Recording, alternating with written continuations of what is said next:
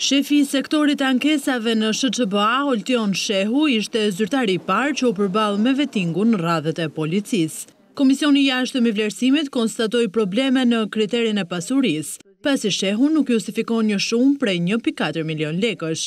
Për këtë konstatim të Komisionit, zyrtari i SHÇBA-së tha se nga viti një mijë e nëntëqind e nëntëdhjetë e gjashtë deri në vitin dy mijë e tre, ka punuar pa siguracione në një bingo ku ka patur detyrën shef salle, banakier, por edhe kamarier.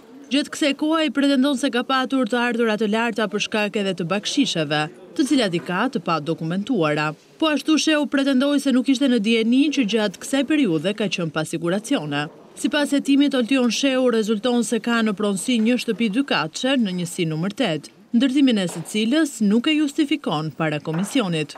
Për këtë konstatim Shehu u shpreh se banesa është ndërtuar nga të ardhurat ndër vite, Avokati i oficerit kërkoi një rivlerësim të shpenzimeve, ndërsa Komisioni i Jashtëm i Vlerësimit vendosi kontraktimin e një eksperti kontabël për këtë çështje.